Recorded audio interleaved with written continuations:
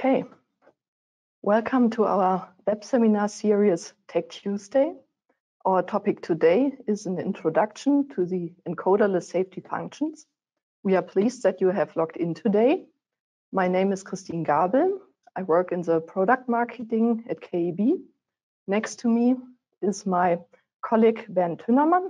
He is functional safety engineer and technical trainer at KEB's um, training department and I hope that you can hear and see us. And if you have questions during the webinar, please use the chat. At the end of the presentation, we'll have a look at the questions and uh, maybe discuss a few of them. And now I would like to hand over to Bernd. Yeah, also welcome.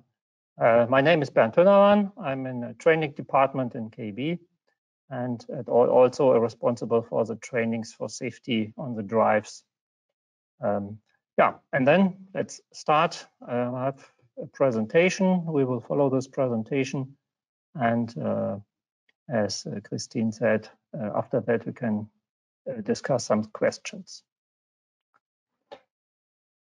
Yeah, so encoderless safety functions, a new product of KEB uh, in the generation 6 inverters um, has some uh, big advantages, also some disadvantages, uh, and I will explain how to handle this um, in, uh, yeah, in machines application and so on.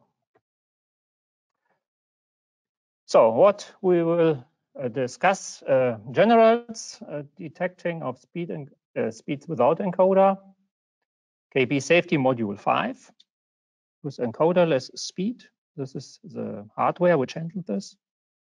Uh, encoderless safe operation, some conditions, qualification in which application can safe speed be used without an encoder, and at least um, safe door lock control or special function uh, I will explain in the end. So some generals, detection of speed encoder, speeds without encoder. So what's the definition? What means encoderless safety function? A safety function must lead to a safe state of a machine. This safe state can be standstill or limited speed or limited movement distance or whatever. Some safety functions do not require sensors like STO, SBC, uh, so brake handling or so. Then there are safety functions that require sensors, uh, such as safety, safely limited speed, safe operating stop, safe direction, uh, safely limited position, and some else. So definition, um, examples for applications with safe limited speed. So typically slow movement of a machine element with open door for adjustments, for cleaning, for maintenance or whatever. Movement of not, of not covered machine parts. For example, here's a CT, uh, which moves around the patient on the, on the table and also uh, compliance with the speed limit so that tools or workpieces may not be damaged by centrifugal forces. So in grinding machines or saws or whatever. So how works speed detection? This safely limited speed needs a detection of the speed of the drive. That can be done in direct way by safe speed measuring system like encoder-based speed detection. Or, and that's new, or uh, indirect by detection of the electric field by three-phase drives. Encoderless speed detection. By this, it's assumed that three-phase drives follow the electric field. So the function is the electric rotating field is generated by the drive controller or frequency inverter.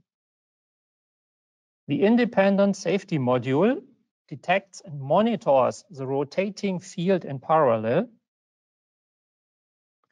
In order to achieve a high performance level or SIL, a two-channel detection is required.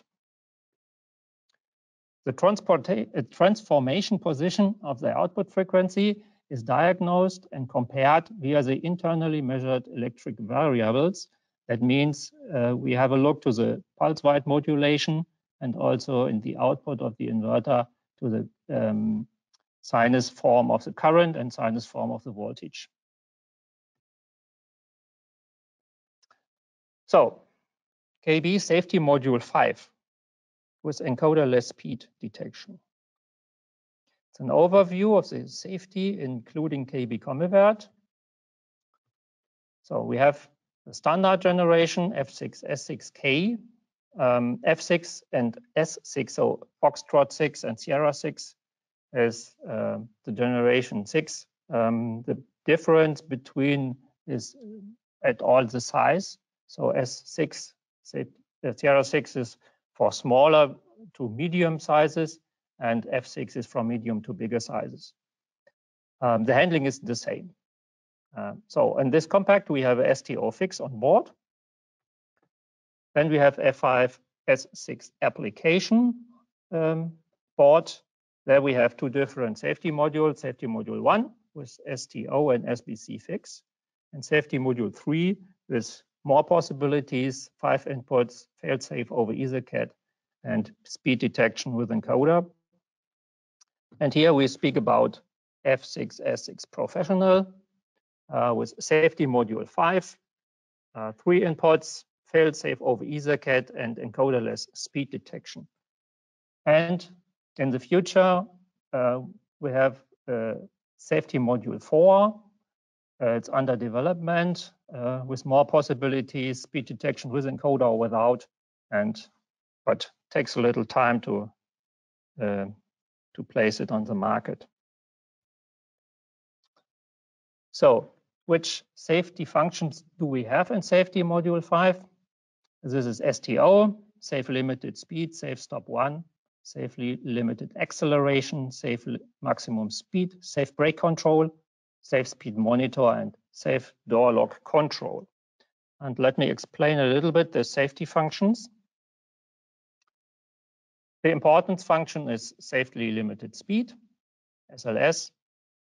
So the maximum speed level uh, will be safely observed.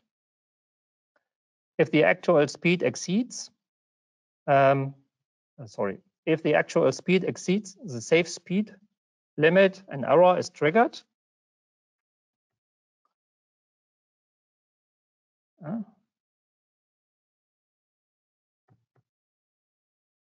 Hmm. Ah, okay. So the function can be disabled by digital input or safe bus system. So safe stop one, SS1. We have two versions. This is SS1 ramp monitored. This triggering and monitoring of the motor deceleration and triggering of the STO at the end of the ramp and the second possibility, safe speed, um, safe stop one, time monitored. So triggering of the motor deceleration and triggering of the STO function after a defined time. So in this uh, part, uh, the deceleration at all is not observed. Safely limited acceleration. The SLA function ensures that the motor shaft does not exceed an acceleration rate. So by the sign minus, we can also observe a deceleration. Safe maximum speed. Uh, SMS works like SLS, same limits, same possibilities, but it's always active and so need no hardware input. In the KEB safety module 5, the factory default is in 120,000 RPM. So in normal application, you do not touch this limit. Safe speed monitor. This function delivers an output signal to indicate if the motor speed is below a predefined limit. So SMS triggers no function, no reaction in the module. The reaction must be done and by an external safe PLC. A safe output is required for that. The function can be triggered by safe input or also enabled permanently. So classification. Um, we have to offer some uh, safety values for each safety function. Um, so they can cal calculate your safety function in the machine. It's uh, part of the operation, operating instructions. So reachable performance level or SIL level for STO, SBC, safe brake control, and SS1, time controlled. Uh, we have PLE, SIL3, and the others have PLD, SIL2. We have a certification by TÜV Rheinland for the safety module. Yeah. Encoderless operation conditions. So encoderless mode permits some motor types. So we can handle three-phase asynchronous motors, three-phase synchronous motors, synchronous reluctance motors, and also IPM motors, integrated uh, permanent magnet motor. So some conditions must be fulfilled. The motor must be able to follow the output frequency at every operating point. No external forces that accelerate the motor may act on the, on the motor because then motor can have different on much more speed than the detected frequency. The drive controller must modulate. So that means in an error state where the modulation is off, speed cannot be detected. The output modulation grade must be greater than the minimal size. That means we have a minimum output voltage to detect the sinus form. And the same at the output current. Also, we must have a, um, a specific value so that we can detect the sinus. And also some functions which can trigger impermissible jumps in the electric transformation position must be deactivated, like hardware control, hardware current control, or for example, speed search. So especially we have to observe the slip of the asynchronous motor because the slip is not taken into account of the detected speed. Considering, considering this, some points must be observed. In motor operation, the motor slip speed is always lower than the encoderless detected speed. During the deceleration, the actual motor speed will be higher than the detected speed due to the generator slip. In VF operation, in the field weakening range, the increasing slip means that the motor shaft speed cannot be can be much lower than the detected speed. In ASCL operation, that means um, asynchronous sensorless closed loop, means a closed loop without a sensor by current control.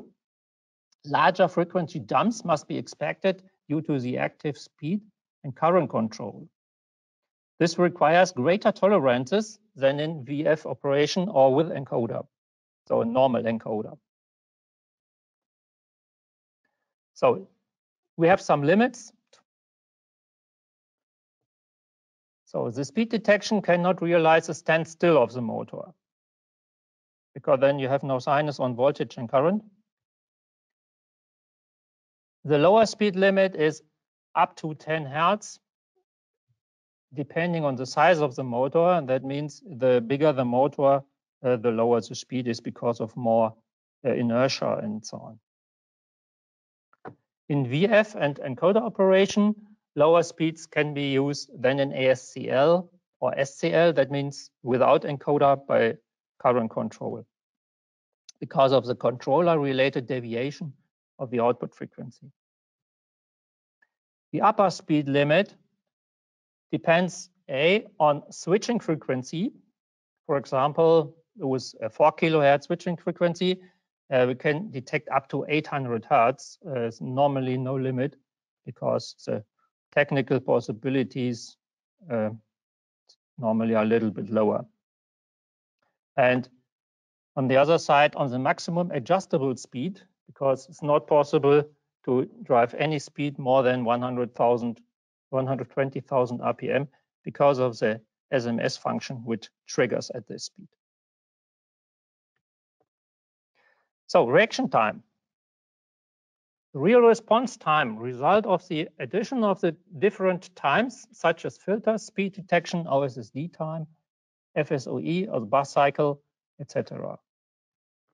With encoderless speed detection, the mechanical delay time does not have any effect, which results in a better response time than with encoder detection. It takes a little time to change the magnetic field in the motor and so on. The safety module always detects a change in the frequency when the movement has not been mechanically performed. So next step, qualification. In which applications can safe speed be used without an encoder? So using in applications, the encoderless speed monitoring is well suited for, for example, horizontal moving drives tool spindles, high frequency drives, motors where an encoder is difficult or impossible to attach. If the application requires an encoder, but that's not suitable for functional safety, so we can use a standard encoder for positioning or uh, motor control and do the safety without encoder. Drives with an this can change the speed very quickly. And maybe some more. Less or no suitability. Standstill monitoring, because at very small speeds, uh, it's, it's difficult. Um, so the direction of the rotation nearby standstill is also not possible to detect. Uh, and also the big application range of lifting, lowering, uh, that pulls um, the motor by the load and maybe some more. So a comparison of this. So the costs with encoder and without encoder, costs are higher with encoder. You have to pay for the encoder. Without encoder, low. So no hardware for that on the motor side. Required space with encoder medium, without encoder, you need to reserve no space for that. Startup test, so means safety test, startup um, is nearly the same um, work, so medium. Installation, safe encoder is medium. There are standard applications also for safety encoders. And without encoder, you don't have. Maintenance, encoder, yeah, you have to low low work on it without encoder, nothing.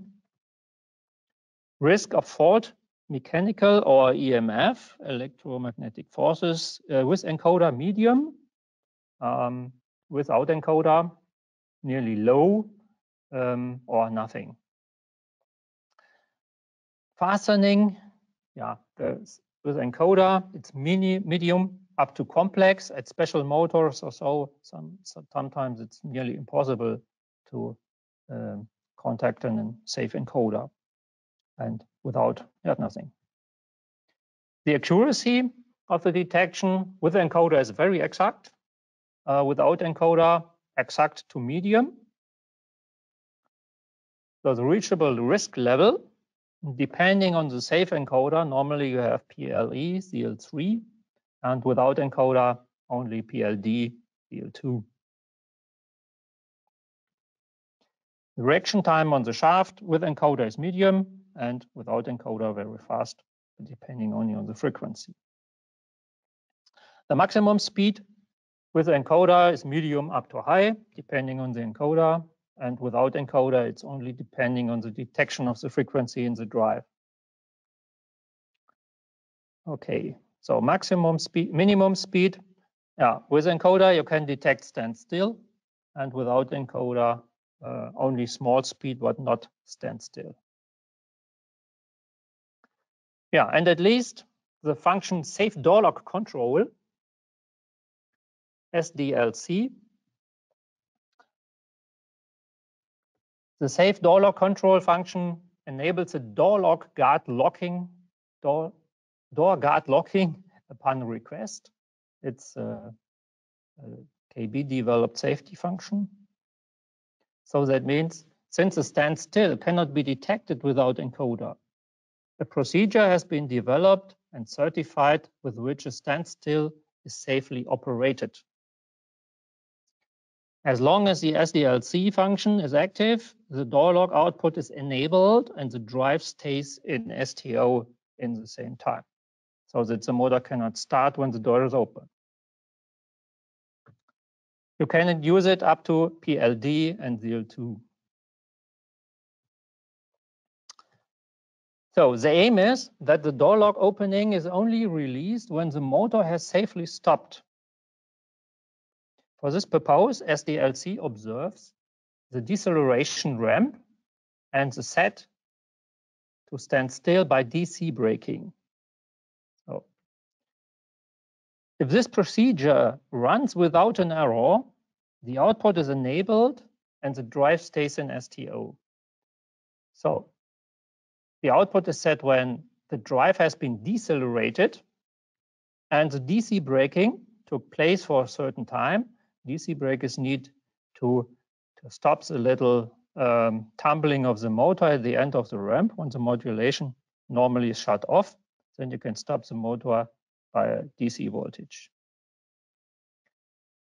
A minimum current float because maybe during this um, procedure, the motor is disconnected, whatever cable cut or whatever, then um, you don't can uh, detect the speed. And uh, when there's no current, then, then there's a risk so that the motor is tumbling and uh, not at standstill. So it means no error occurred, no error in the ramp, no error in the DC braking, and then you can be sure that the motor is standing still. So safe door lock control works completely only with asynchronous motors. You can use it also with synchronous motors, but the DC uh, braking is not working. But normally, a, synchronous motor has no tumbling no, because follows strongly the output frequency. So you need no DC braking. Yeah, and a final note, because we speak about safety, that means uh, the information contained this presentation um, are notes in the sense of the explanatory, explanatory description. That means the current technical documentation of the drive always applies the representative of the properties. When you want to get the, um, the manual for the drive, you can visit KEB homepage. Um, or the document database in CombiVis. CombiVis is a program of KEB. And uh, you use keyword safety module or the article number of the COMBIVERT. And at all, now we are finished. Um, and uh, yeah, uh, Christine, so you can take the uh, management. Yeah. Thank you, Bernd. Maybe you switch on the camera again yeah. so we can have a look at the questions. Thank you so far. Okay, so I've got uh, one question for you. What happens with uh, motor identification and speed detection? Uh, yeah, that means um, the motor identification is needed when you use uh, current control closed loop, or KEB we say ASCL. And um, that means the motor is, uh, is checked by different uh, frequencies, different switching frequencies, different signals.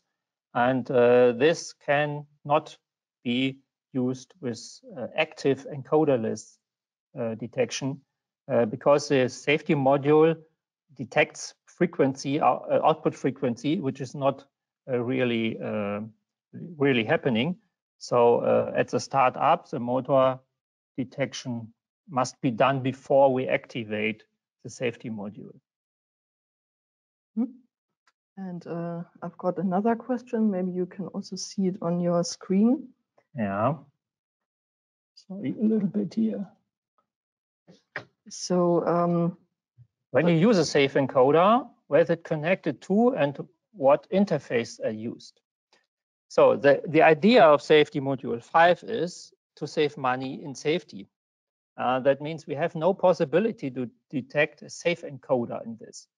So um, we have safety module 3 and in former times safety module 4 where we can detect safe encoders. So we need another safety module, maybe another application uh, to use it. Okay. Okay, and I've got another question. Mm -hmm. um, maybe I can read it. Why is safety module 5 not available in F6 Six. application? Yeah, that's a problem of the construction. Um, the safety module 3 um, and in, is useful in its KEB F6 application. Um, the development is some years ago. And uh, after that, we wanted to have more possibilities uh, to make additional safety functions or so. And for that, we need more more contacts, no, more, okay, more connection between the control and the safety module. And uh, for example, in the safety module three, we have around about 20 pins on the connection. And in safety module five, we have uh, nearly the double. Uh, so it's a complete different hardware. So we cannot connect safety module five with the with the control board of the um, of the application and on the in the other direction. Okay. I think we've got a few minutes left, maybe uh, for a last question. Um, is it possible to use SS1 and SDLC at the same time? Okay. Um, SS1 is decelerating and then goes to into STO. So it's, it's a definition. And um, SDLC uh, has also decelerating. You can use, for example, the same ramp in both safety functions. They can be activated at the same time. But the disadvantage is that uh, SDLC makes a DC braking at the end of the uh, deceleration, and uh, SS1 makes STO. And when we have STO, we have no possibilities to make the DC braking because the voltage is off. So it makes also no sense. So if you if you need SS1, then you can use it also included in SDLC. Okay. Okay. Yeah, I think time is over. So thank you, Bernd, for the presentation. Yeah, you're welcome. And thank you for listening. And um, if you have any further questions, do not hesitate to contact us yeah. via email, uh, for example, at webinar at keb.de. And uh, we would be pleased if you switch on again to another topic. Thank you. Okay. Yeah, thank you. Bye.